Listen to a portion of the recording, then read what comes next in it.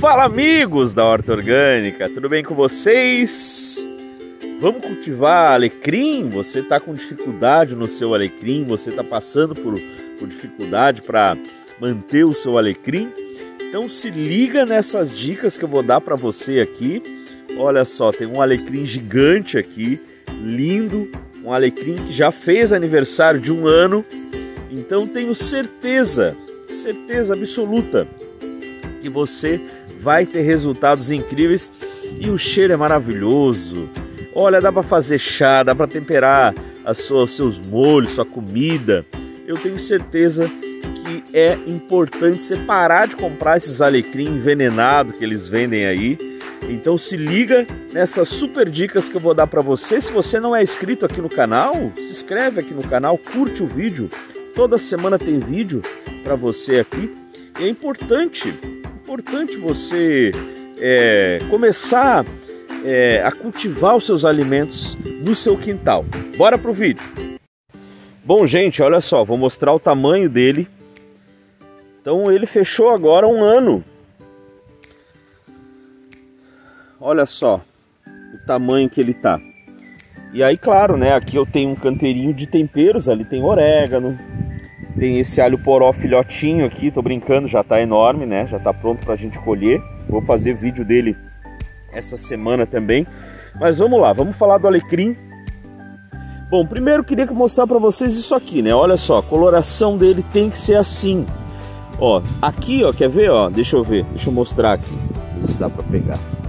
Tá vendo que a pontinha dele tá começando a dar um sinal esse sinal, essa corzinha, quando ela começa a mudar, significa que ele já está pedindo adubo. E aí, claro, esse alecrim ele tem uma coisa aqui. Eu fiz uma boa adubação nele, ó. Só que agora ele está enorme, ó. Mas eu fiz uma adubação nele com esterco de aves e farinha de ossos. Eu a cada 30 dias, nos primeiros três meses dele, eu adubei ele bem.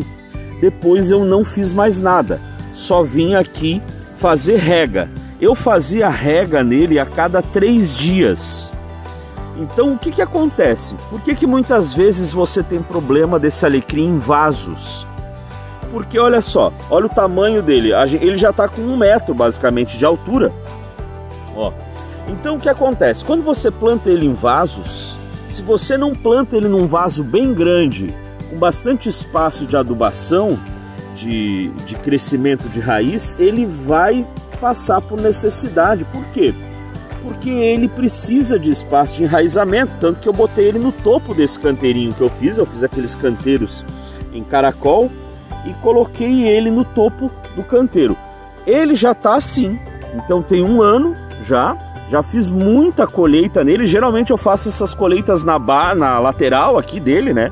Vem, faz colheita. Uh, mas o que eu quero que vocês entendam é o seguinte: se você não reforça a adubação, tanto que alguns, quando ele está com muito problema de adubação, ele começa a ficar cheio de pintinha. Você já deve ter visto. Ele fica cheio de pintinha. Então, para você não ter esse tipo de problema, o ideal é que você capriche na adubação a cada 30 dias. Depois que ele passa por esse período de três meses, que é onde ele enraiza bem, onde ele começa a se desenvolver, aí você pode aumentar o espaço de adubação. Então você pode começar a adubar a cada dois meses, a cada três meses. Você não precisa deixar isso. E aí as regas eu acabo alternando com o tempo. Então, por exemplo, ah, choveu três, quatro dias, eu fico uma semana sem fazer rega. Então é um jeito que você tem também de não deixar ele com muita água, porque ele não precisa de muitas regas. Ele precisa de uma rega moderada de vez em quando. Então você pode regar uma vez por semana, você pode regar duas vezes por semana, que não tem problema, tá? Agora, capricha na adubação, faz umas colheitas. Se você não vai colher, não vai consumir, igual vem e faz uma poda, tira um pouco do excesso, né?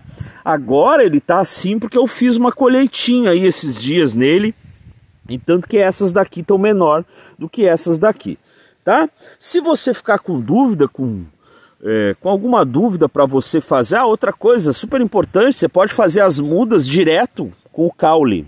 tá? Só que quando você pega um caule muito amadeirado, quando você pega um caule muito amadeirado, muito antigo, é muito difícil de enraizar na água.